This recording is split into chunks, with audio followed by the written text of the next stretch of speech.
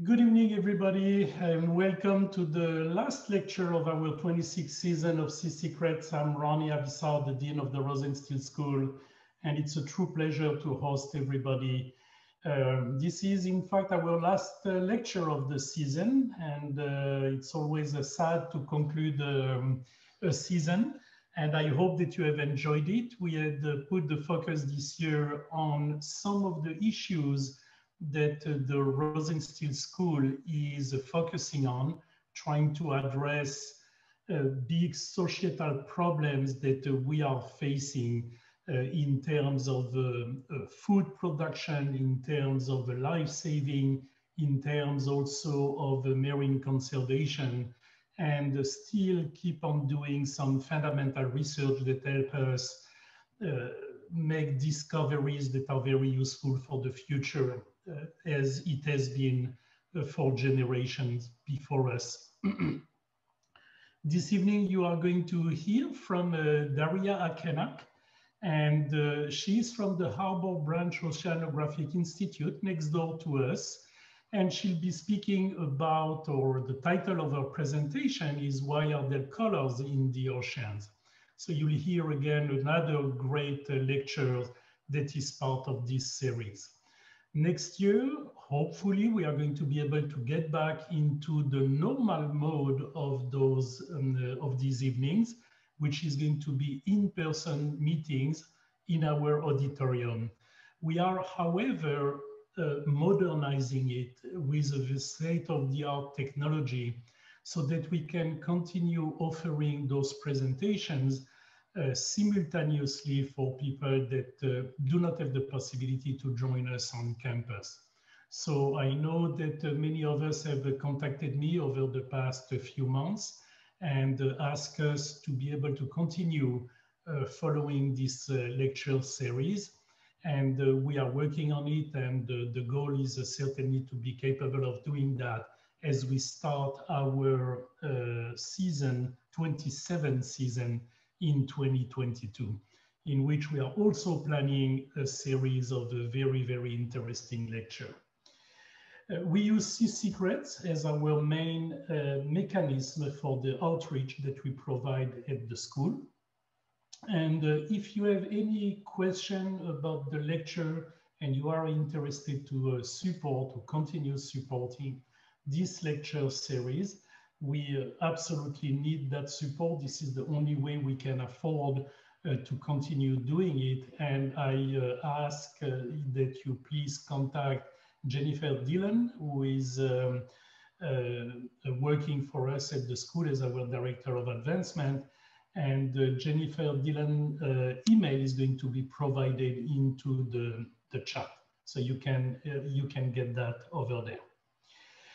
Um, I want to take also this opportunity as we conclude this uh, series to uh, thank our sponsors that include um, our presenting sponsor, which is the Bank of America. And we are mostly most grateful to, uh, to the support of the bank. We are also supported by the Shepard Broad Foundation, but Bill Galway's uh, three, Cheryl Gold, the Key Biscayne Community Foundation, the Key Biscayne Life Enhancement Fund, and the John McCann Family Foundation. As uh, has become a tradition now before the presentation of the guest speaker, we ask one of our alumni uh, to say a few words about their experience uh, at the Rosenstiel School, as well as describe the job that they currently do. And tonight it is truly a great pleasure to welcome our undergrad alumna Tatum Nugent. Uh, Tatum uh, is currently a strategic communicator for the World Wildlife Fund. She's based out of uh, WWF's headquarters in Washington, DC. But Tatum is uh, originally from San Antonio, Texas, and uh, is an alumnus of the Rosenstiel School, as I have mentioned, uh, where she earns a BA in Marine Affairs in 2018. She was, in fact, working in our office, in the Dean office, as an intern for a couple of years.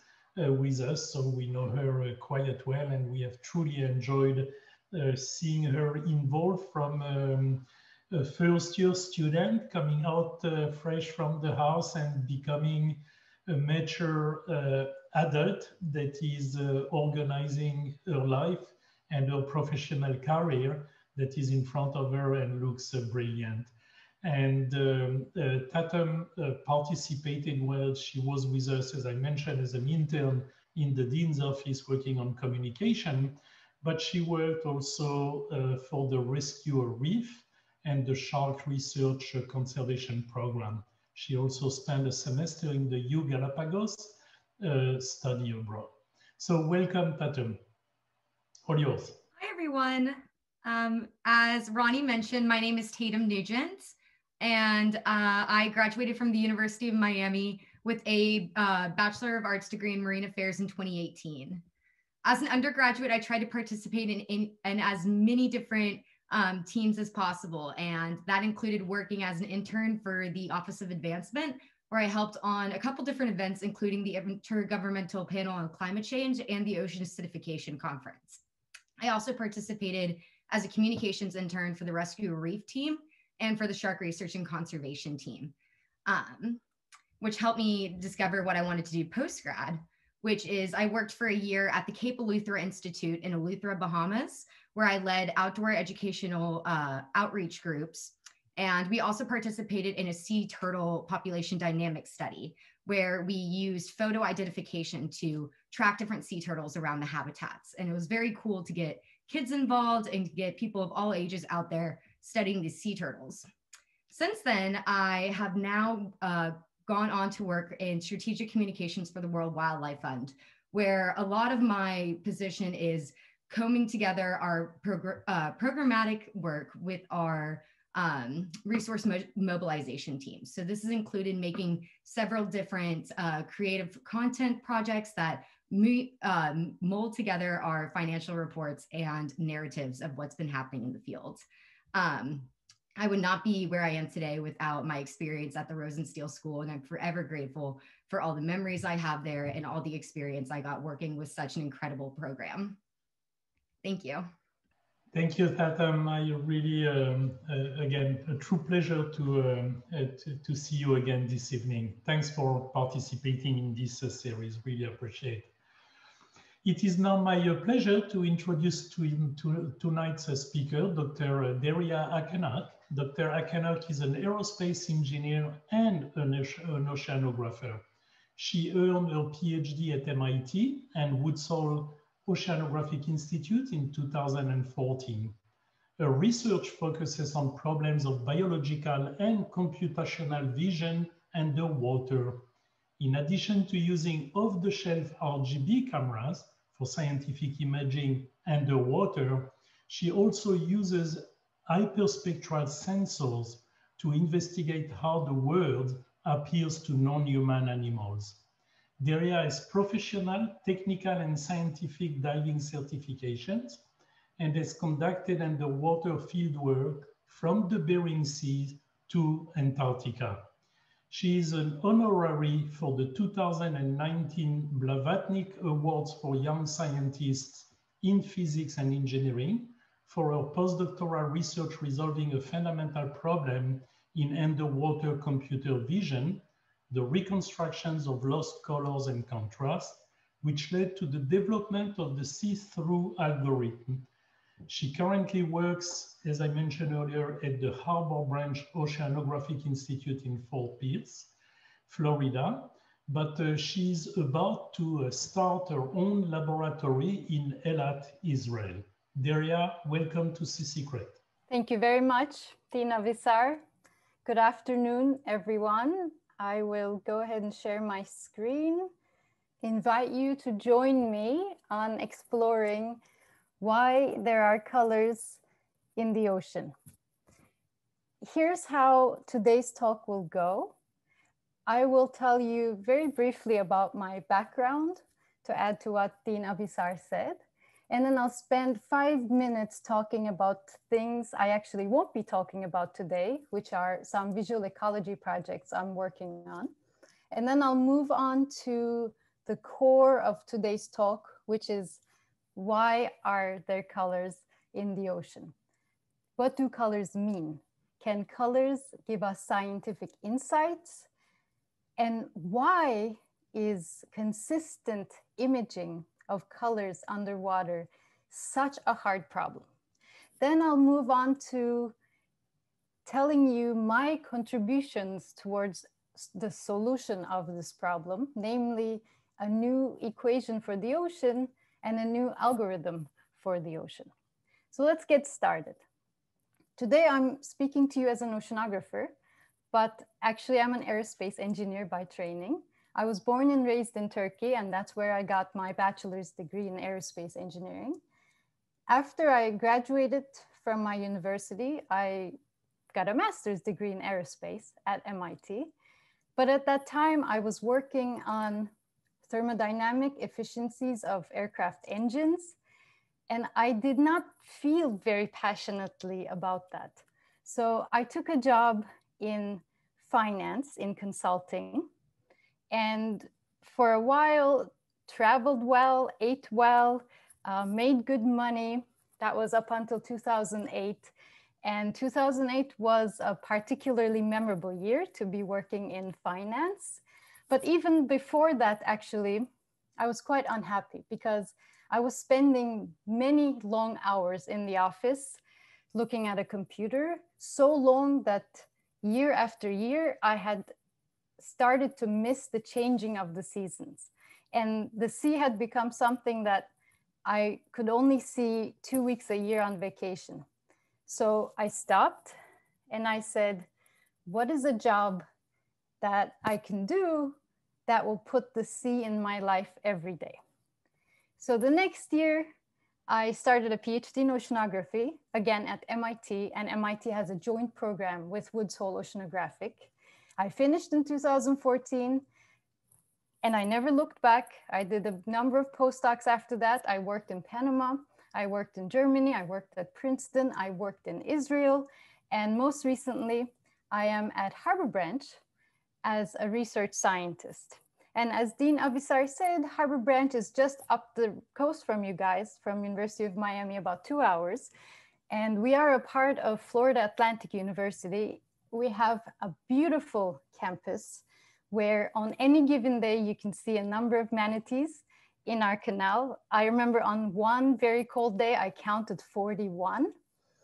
And of course, before the pandemic, it was possible to tour our campus, see our labs, um, and I hope all of that will resume uh, in a short time. But until then, you can check out our website.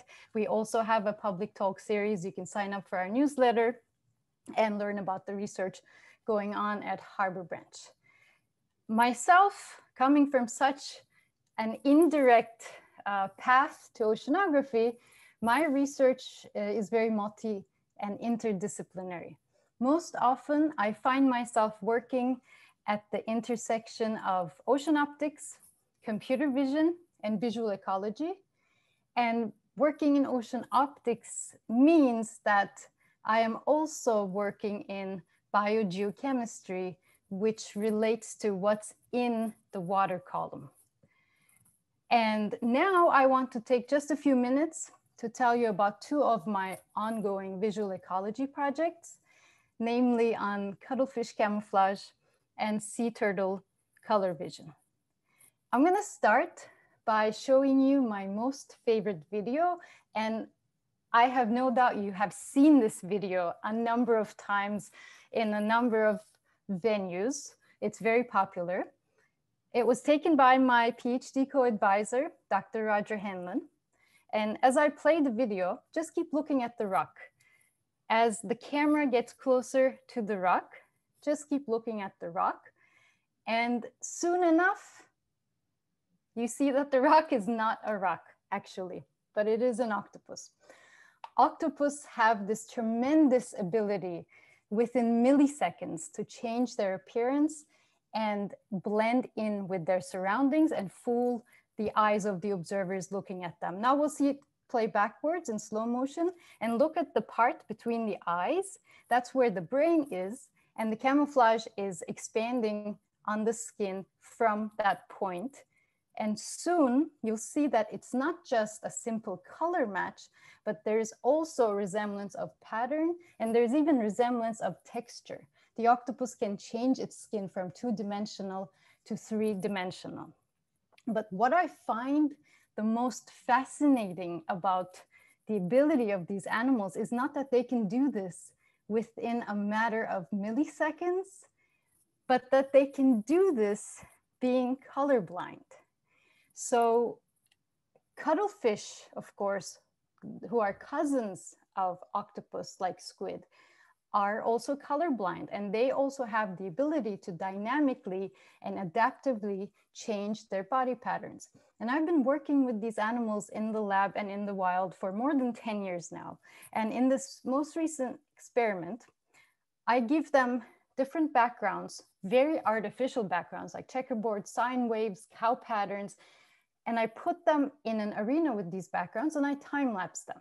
From the time they go into the arena to the time they find peace and settle and display a stable camouflage pattern, I time lapse them. And the goal here is to understand what the known background statistics that we have can tell us about the final pattern that these animals decide to display. And the one on the sine wave actually never found peace in this experiment. The second project I want to tell you about briefly is on very interesting evolutionary adaptation for better color vision. We as humans, we have trichromatic vision. So we have three color cones in our eyes and these are sensitive to roughly what we call the red, green, and blue parts of the electromagnetic spectrum. Turtles, actually both sea turtles and freshwater turtles, are tetrachromatic, which means they have four color cones. And the fourth one is sensitive to ultraviolet light, which we are not sensitive to. But in addition to that, turtles, both marine and freshwater, also have these interesting elements in their eyes called oil droplets. So here is the retina of a green sea turtle and the red, yellow, red, and orange spheres you see there are colored oil droplets, which are scattered all across the retina and they're sitting on top of the turtle's cone photoreceptors. So the photoreceptors that we also have, they also have those, but on top is are these spherical colored oil droplets. Now, birds also have these oil droplets. And theoretical models suggest that for birds, the role of these oil droplets in color vision for birds is enhanced color discrimination. Of course, that makes a lot of sense because birds are very colorful. They live in terrestrial habitats where there's a lot of sunlight and sunlight with a broadband spectrum, which means every color in the rainbow is visible, is possible.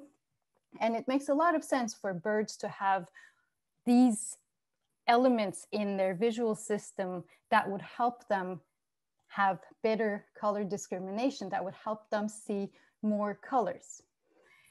But turtles, no offense, are not that colorful, right? And on top of that, the habitats in which they live, in other words, the ocean, get duller and duller. The colors become duller and duller with depth and distance because of the way light changes in the water. So the possibility to see more colors is less for turtles. So what is the advantage for turtles to have evolved and kept these oil droplets? That's what I wanted to understand. And to do that, it would help to see the underwater world like a turtle. But we cannot look at the underwater world or we cannot look at what the underwater world looks like to a turtle using cameras that are developed for the human visual system. So we had to engineer, design, and build a brand new camera, a hyperspectral camera, which we call the turtle eye camera, that is sensitive to not three, but 16 bands of the electromagnetic spectrum. And around the 16 band sensor, we built an entire camera with the Linux computer with a battery pack that lasts about four hours, which is about two dives, and put everything in a housing that's rated to 100 meters. And you see here the turtle eye camera in its first dive. This camera doesn't take photos as we think of photos, but it, co it collects a data cube, which we later process according to the visual system of the animal we're interested in. And that's the fun part here. Now you are looking at the footage collected by the hyperspectral turtle eye camera on the left, rendered with the visual system of an actual sea turtle, which has oil droplets. And on the right, with the visual system of a hypothetical sea turtle, which doesn't have oil droplets. And even though I just said the underwater world is not that colorful, we can still see that there is a benefit to having oil droplets and you can still see, sense more colors than you otherwise would. And what does this mean for the life of the turtle? I can't answer that yet. This is a simply an engineering solution simulation of a turtle visual system, but we'll get there slowly. So that's actually the first part of my talk, where I briefly wanted to show you what somebody who came from an aerospace background all the way to oceanography might be working on. And now I'll move to the main part of my talk today. What do colors in the ocean mean? And can colors give us scientific insights? So I'll start with the answer. Yes, of course. The ocean colors and the colors of natural bodies of water around the world can absolutely give us insights about what's in the water column. Natural bodies of water around the globe show tremendous variability in the dominant color they have and the visibility. And these two things together tell us what's, what are the constituents in the water column and how they change across time. And actually, at least since late 1800s, scientists and sailors have been trying to connect the color of the ocean water to the particles in the water body. And they've been collecting water samples, developing scales to judge, to rate the colors in a consistent way. And you can imagine trying to sample watercolor from a ship. You can imagine the size of the ocean and you can imagine how impossible of a task it would be to make sense of the big picture just by collecting water samples around the globe. So it was only when we were able to sense the color of the ocean from space that the true scientific value of watercolor came out. What I'm showing you here is a map from that was published in 1989 that shows in a fake color coding the color of the ocean water globally for the first time. And it took about 10 years to make that map. Now, the color of the ocean water, for the most part, tells us how much phytoplankton there is in the water. And phytoplankton are tiny microscopic organisms that photosynthesize and produce food for everything else in the ocean to eat. And their concentration changes the color of the water. So if we can sense, measure, photograph that concentration, that color, then we can have an idea about the concentration of these important organisms. And this map from 1989 was the first time we were able to do that. And it really revolutionized oceanography. Of course, today we can do that on a daily basis from instruments that we have on satellites that show us the diversity and the variability of ocean color.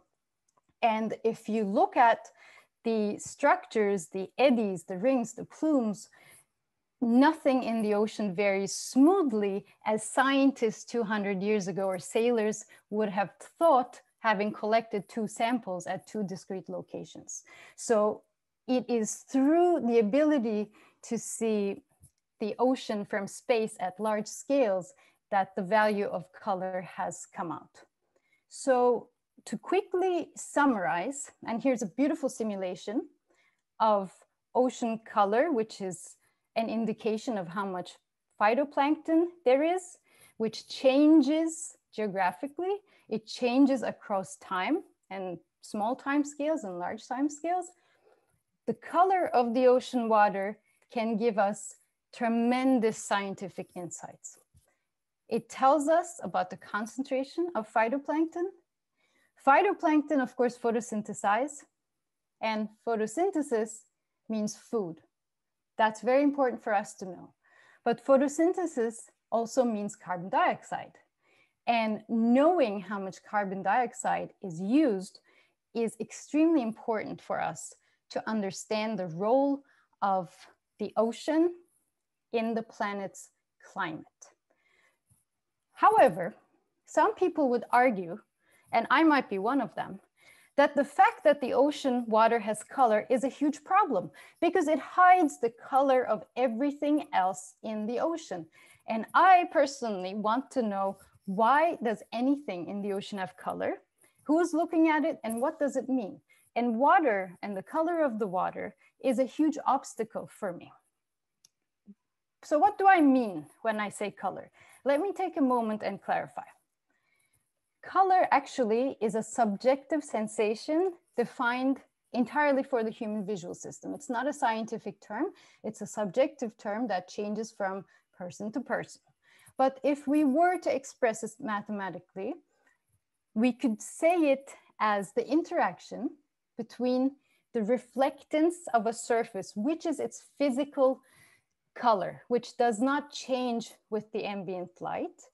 It's the interaction of the physical properties of a surface, its reflectance, with the ambient light. So color changes according to if you have an LED light on or if you have sunlight on, as viewed by a certain sensor. And here the sensor could be the human visual system or it could be a camera. It's already complicated enough, so I'm gonna make a simplification for the rest of my talk.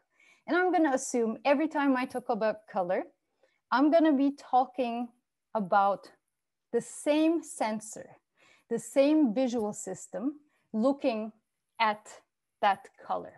And this sensor is going to be an ideal sensor that responds to each color equally. So we can assume it has no effect on what I'm seeing. So I'm gonna kick sensor out of this equation. Now we are left with a simpler definition of color, which basically says, what is the reflectance of a surface under the certain color of the ocean water at the time and location where you are at. So ocean color comes in as the ambient light into the equation of color. We have to remember that because everything depends on ambient light.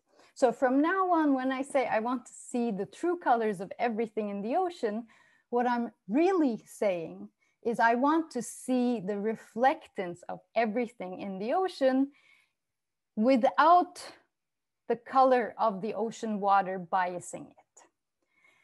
After that, I want to give you a very brief introduction to how an image for is formed underwater, how a photograph is captured, how is it formed, how are those colors captured in your camera sensor. We have a diver and he wants to take a photo of this octopus. The diver's photo will be an addition of three different photos on top of each other. The first photo will be the actual photo of the octopus, which he wants to take, which is the part that we want to maximize. On top of that, there will be a second layer, which will be the sunlight that comes from the surface, it reaches the skin of the octopus, and then it reflects from the skin of the octopus, and then bounces, scatters from these really exaggerated particles that I scattered in the, in the animation here, and then find their way back to the camera. This second layer of image is going to be a blurry version of the octopus photo. It's going to be a degrading layer. We don't want that. But it's not the biggest problem. The biggest problem is the sunlight that will come from the sun, penetrate the surface, and then it will scatter from these exaggerated floating particles without ever going to the octopus, instead directly scattering to the camera sensor. The layer that will be formed from these scattered particles is going to be a layer of colored fog. It's just going to be a occluding layer that will reduce the quality of the photograph. Now, I will not talk about the part with the yellow arrows, which is called forward scatter. For the rest of my talk, we can ignore that. But I will refer to this, the photo layer that is with the blue arrow direct, coming directly from the octopus and reaching the camera as the direct layer. And I will refer to this occluding layer of fog that is formed by light that never reaches the octopus as backscatter. And the most important takeaway from this slide is that everything about color loss, everything about image formation depends on the distance between the camera and the octopus. The distance between you and the scene determines the quality of your image. What do I mean by that? Let me show you with a different animation. Here's the diver on the bottom right of the screen again. And this time he wants to take a photo of the color chart, which is right above the starfish. Where he is now, he's too far.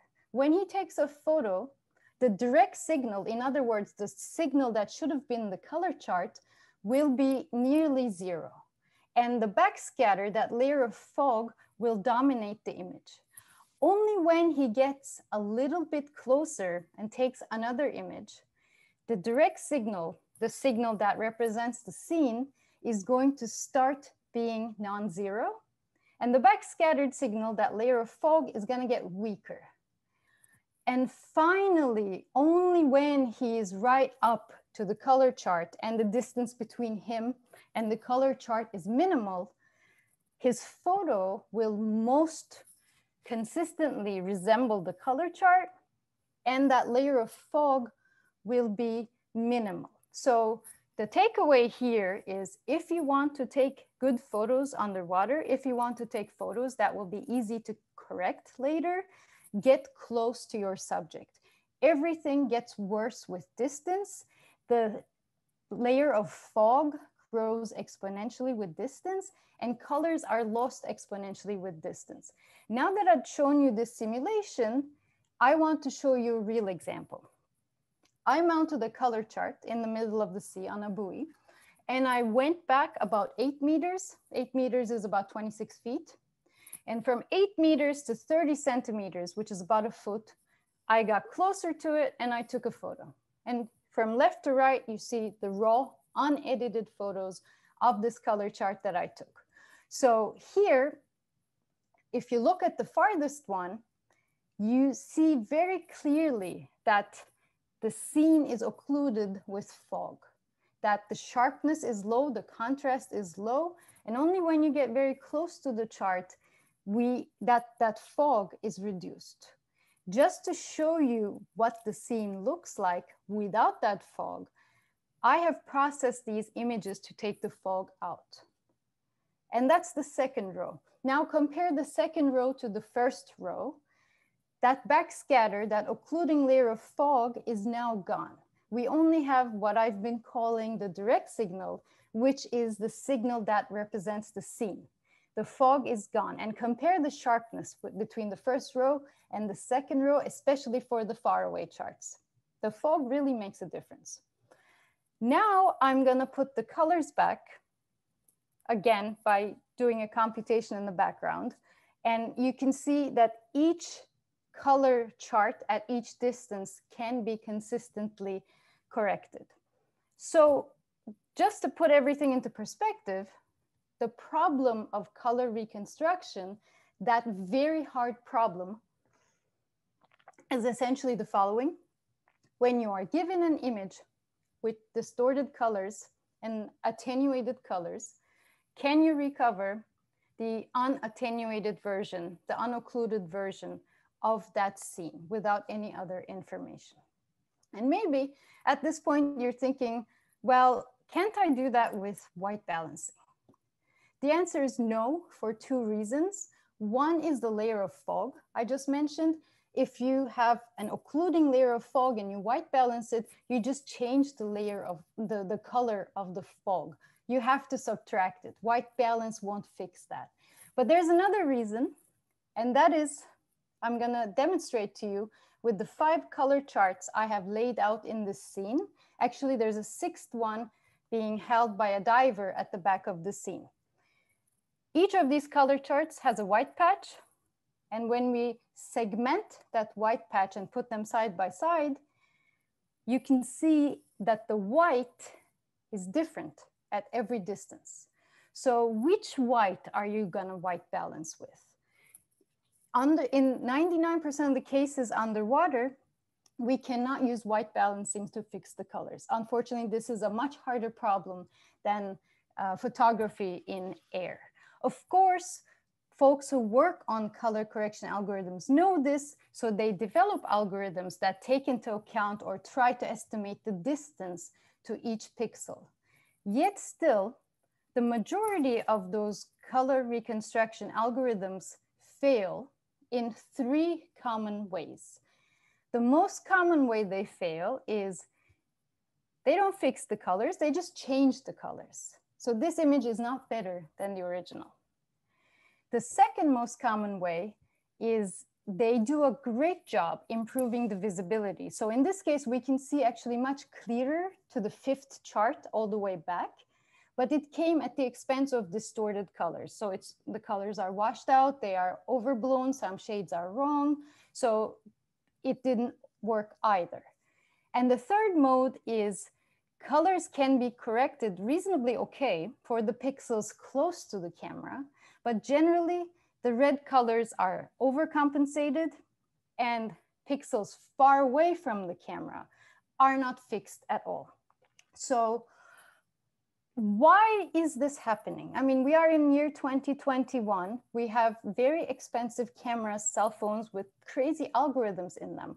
Why aren't our cameras already able to capture a photo that has fixed, corrected, reconstructed colors in underwater scenes? Why isn't this happening? To give you the answer, I'll take you back 200 years. 200 years ago is when the first photograph, as we know photographs today, was taken. And much, not much long after, only 30 years after, the first underwater photograph was taken by putting a camera in a big enclosure and lowering it down. And by 1911, the first measurement of sunlight spectrum at depth underwater was made. That's a big deal.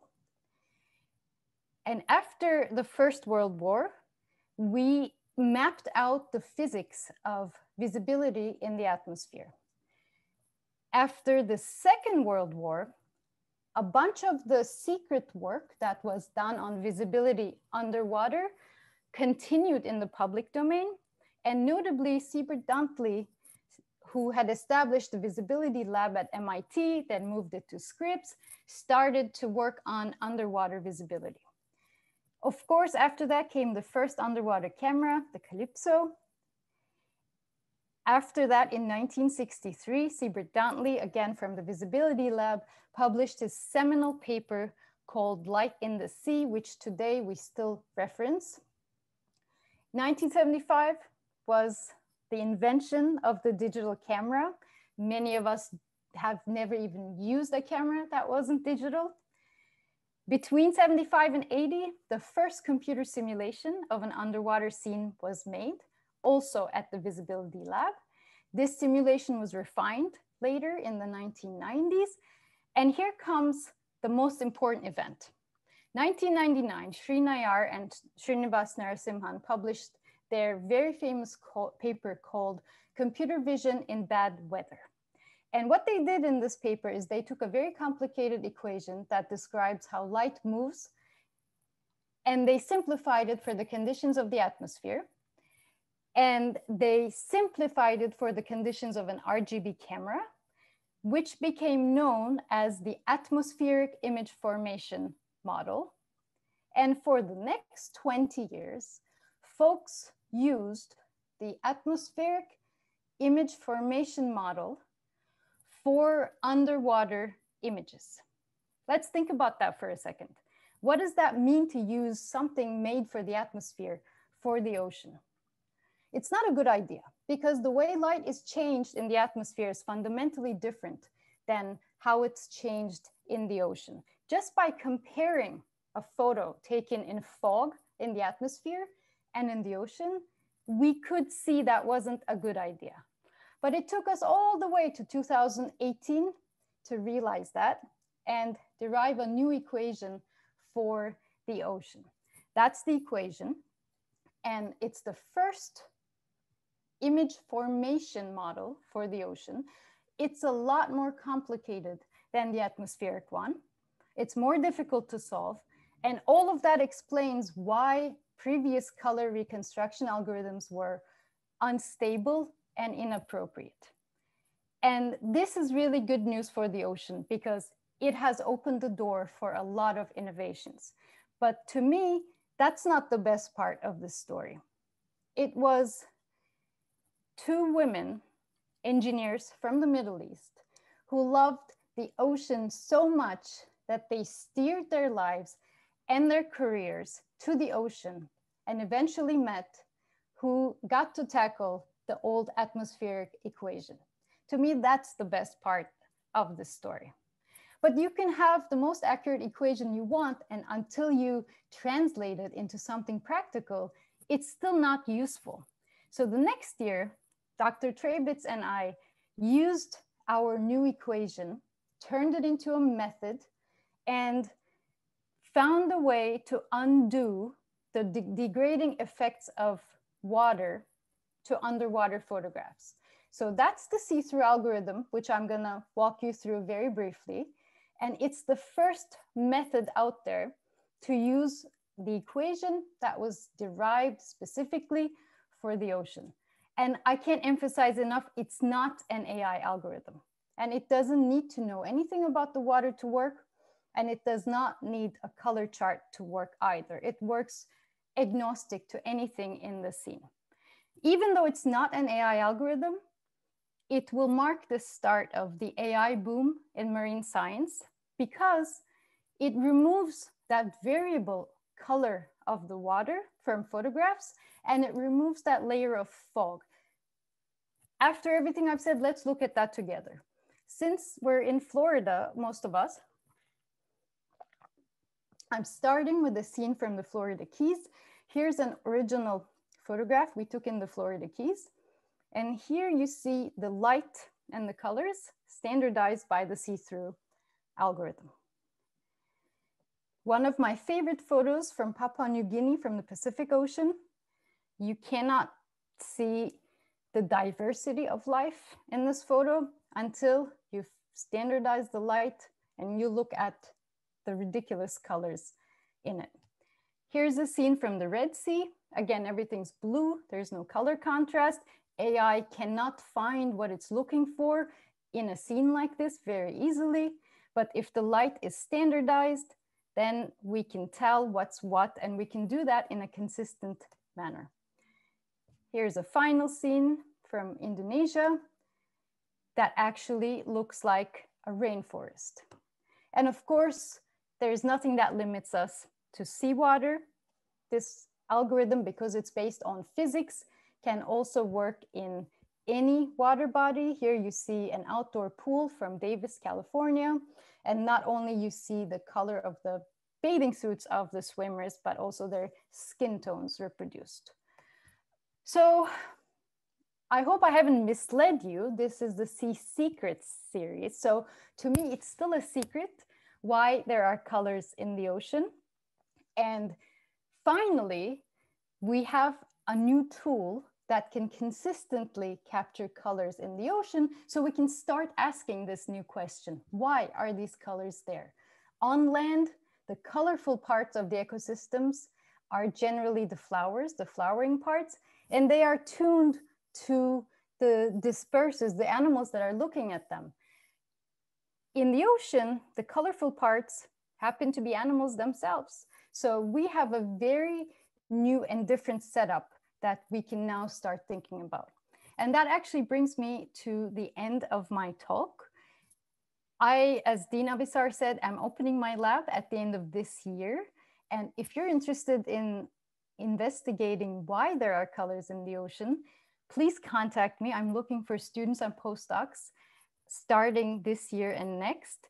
And together, hopefully, we can understand what this diversity of color represents, to whose eyes that are looking at these colors, and what it means for our planet. That's all I had today. Thank you. Wow, amazing. Very, very interesting presentation. What a great way to complete this season of Sea Secret. Derya, really appreciate your, your, your presentation. It was not only uh, very interesting from a scientific point of view, but you delivered that beautifully, very interesting. And as you Thank point you. out, uh, having two women engineer uh, being able to make this uh, literally revolution is absolutely fantastic. So congratulations. And again, thank you so much for participating. I want to thank you. I want to thank the audience again for participating in this evening presentation as well as the entire series. Please keep in touch with us. You can contact us for the Sea Secret. And uh, again, I believe that the email to contact us is going to be provided. Keep in touch to uh, see what is going to be offered in uh, 2022. And uh, we do have time for about 10, 12 minutes of questions and I am going to, uh, with your authorization, Dr. Uh, uh, Akkaynak, I'm going to transfer that to um, our communication people that are going to help you monitor that. So again, thank you so much and congratulations. Thank you. Thank you. My pleasure. That was very interesting. Thank you very much. We we have some questions coming in. One in particular was how did the cuttlefish get clues about which background to replicate? Well, we have to ask them. they, uh, as soon as they hatch, they know how to camouflage. And which clues are they picking up? There have been many studies on that, but with my very artificial backgrounds, I don't know the answer yet. So that's going to be a while before I can answer that question. Uh, Anna Sophia wanted to know how are you able to subtract the backscatter? Do you need a special software to process images? So that's part of what Sea-thru does. It has a way of estimating the distance between the photographer and the scene. Actually, by design, it has to know that distance. And once you know that distance, because we know the physics, we know how that backscatter should change. We are able to estimate it and subtract it.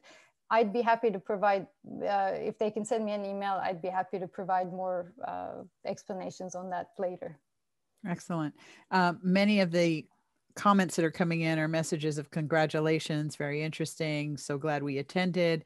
Um, we have a question here from Serdar Serdar, uh, who is asking, can the Sea-thru algorithm be applied in real time, uh, such as on a video stream? As long as we have a way of estimating distance, which is the computationally heavy part of the calculation, the color correction can be done real time. And we are working on doing that real time. Yes, that's a good question. So uh, a couple questions about how sea turtles see. One was if they can see infrared light, would it be beneficial to have uh, red lights at in the evening when they're um, uh, looking at nests for sea turtle hatchings and those types of things. And also the other part of that question was, uh, what extra information do they see since they're able to see UV light? Excellent questions. And I know from Florida folks, we were going to get questions like these with thousands of sea, sea turtle nests every year. So as for the first question, infrared, they cannot sense, but red light and amber light, they can. So there is really no such thing as turtle friendly light. If you want to have light that's invisible to the turtles, you need darkness.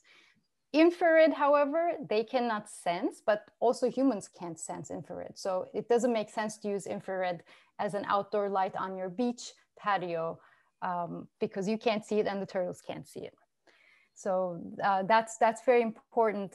Lights should be as dim as possible for to be turtle friendly. And the second question was what, Diana? Um, in, in terms of the UV, I think you answered it, the UV light, since sea turtles see UV light, what extra information do they see? Ah, so there are a lot of animals that sense UV light. You know, for example, hummingbirds do, many birds do.